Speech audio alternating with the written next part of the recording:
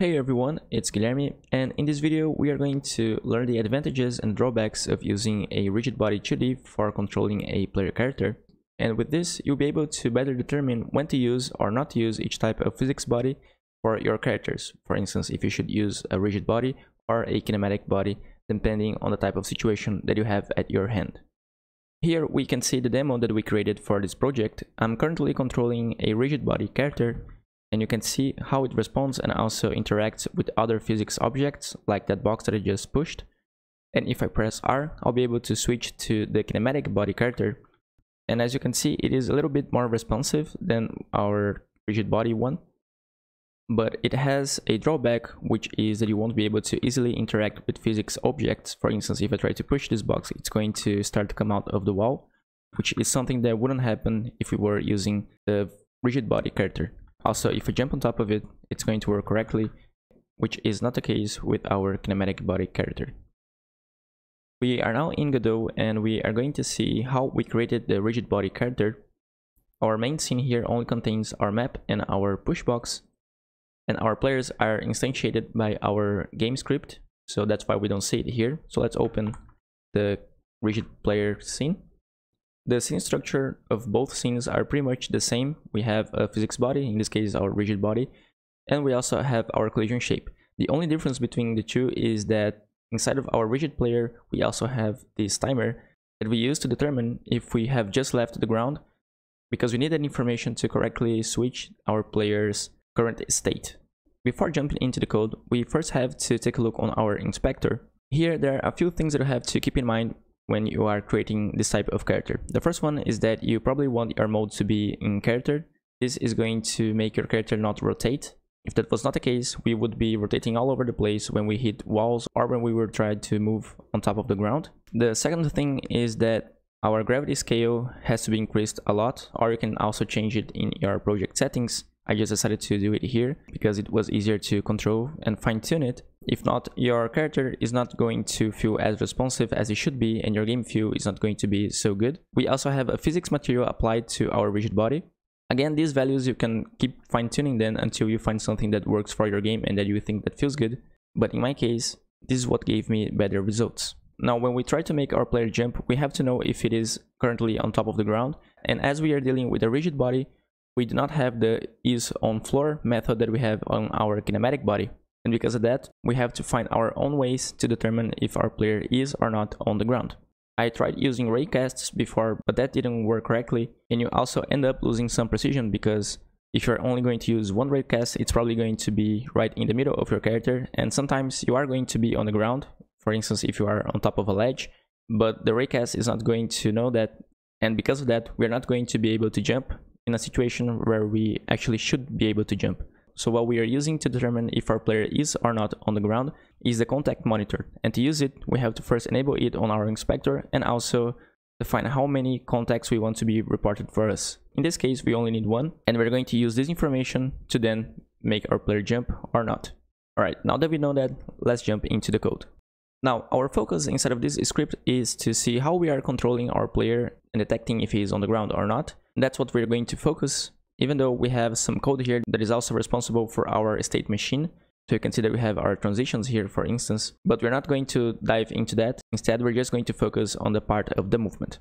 Now let's go a little bit to the button and here you can see that we are using a function called integrate forces instead of using the physics process. And this is because we are going to modify the state of our character directly instead of using forces for instance we're going to be changing its linear velocity and that's something that you have to do inside of the integrate forces function or else you're probably going to get some weird behaviors and that's also something that is not recommended here you can see how we are checking if our player is on the ground as I said before, we are using our contact monitor to determine if we are on the ground. And we begin by checking if our contact count is greater than zero. This means that we are touching something. And if we are, we're going to see if the position of this collision point is below us and if that's the case then we are on the ground also as i said before make sure that you have the contact monitor turned on or else this is not going to work and your game is going to lag a lot to determine in which direction our player wants to move, we have the getMoveDirection function, which is going to return to us a motion vector 2 that is going to tell us in which direction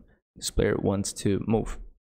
Now here we have the part of the state machine of our character. Again, we're not going to go into detail here. If you're not familiar with state machine, you can reference to other video inside of the channel that explain them. Now, in the case that our player is currently idling, this means that he's not doing anything. We are going to check if we want to move to a certain direction. And if that's the case, we are going to change our state to the run.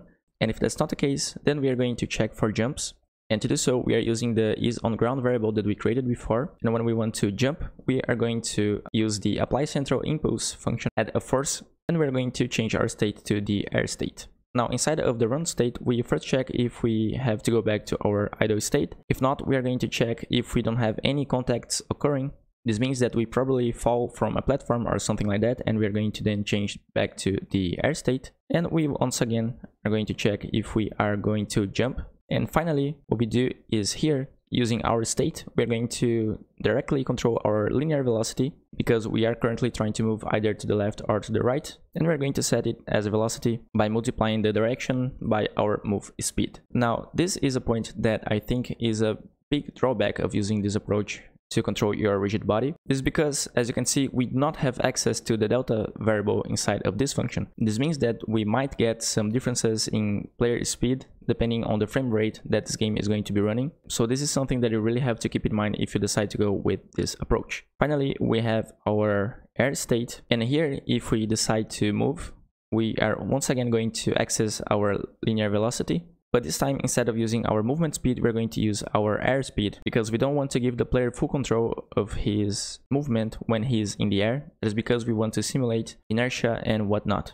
And here we see the just air timer that I talked before being used. Whenever we enter the air state, we are going to initialize this timer because whenever we jump in the next frame, we are still going to be in the ground but in reality we are actually jumping but the game is still detects that we are on the ground and because of that, we use this timer to check if we just jumped. In this case, this timer is going to be running. So that's the reason why we check if it is stopped here. Because if that's the case, then we actually jumped and we are not checking this second frame that is incorrectly telling us that we are on the ground. And we should change our state back to idle because we are on the ground correctly and not just trying to get out of the ground. Now, we're not going to go into detail on how our state machine works here because this is not the focus of this tutorial. But if we go to our change state function, you can see that whenever we enter a different state, we are going to call the enter state function. And when that function is called, we're going to check which state we are currently entering. And in the case that we go to the idle state, we're going to set our linear velocity x to zero because we don't want our player to be moving around with inertia. You could remove this line if you wanted that effect. This is not the case here. And in this case, you can see that we are directly accessing our linear velocity. We're not doing that through our state. And this is safe to do because we're only doing it a few times. We're not doing it on every frame. So it's not something that's going to give us weird behavior. And when we enter the air state, we are going to start our just air timer.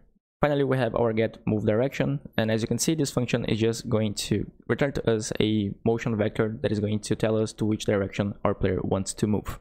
Now, just as a comparison, I'm going to open the scene of our kinematic player as you can see, the scene structure is pretty much the same that we had on our rigid player, but we don't have our timer that we use to determine if we are just being aired.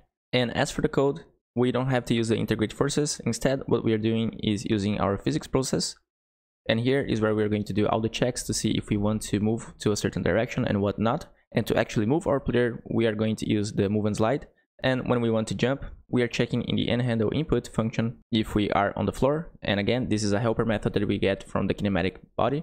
This way we don't have to use the contact monitor as we were using with our rigid player. And not only that, but we also have access to other helper functions, for instance, the is on wall or is on ceiling. And overall, the code structure is shorter than the one that we saw on our rigid player. What we lose here is the ability to interact with physics objects and depending on the type of game that you are creating, if you relies a lot on physics, this might not be the best approach for it. Also, if you want to go more in depth of what I just talked here, you can also read my report on the rigid body control that we created on the last week for our Metroidvania. There I go a little bit more into detail and there's also a little log of how I try to implement things. You can also get some more information out of that as well. And in this tutorial, we saw an approach on how to implement a rigid body character and we could also see the same type of character being implemented using the kinematic body. This way we had something to compare it to. And the important things that we have to keep in mind here is to use the contact monitor on our rigid body and also to make sure that we are using the state variable inside of our integrate forces function when we want to directly modify the state of our physics body. If you want to dive deeper into this subject, there are going to be some links in the description of the video that you can follow to learn more on the subject. As always, this project is available on GitHub, so you can play around with it if you want to. Thank you so much for watching, and I'll see you in the next one.